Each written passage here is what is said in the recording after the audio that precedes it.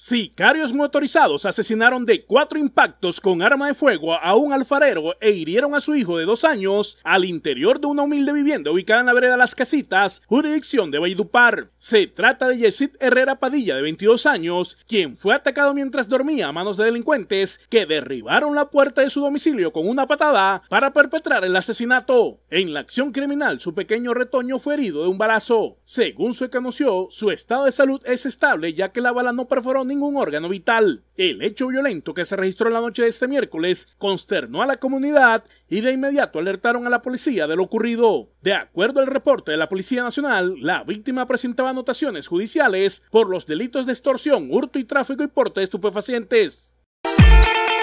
Donato, servicio de domicilio y mensajería.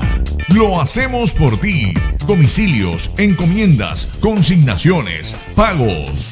Donato, servicio de domicilio y mensajería. Llámanos 312-632-7117. Donato, servicio de domicilio y mensajería. 312-632-7117.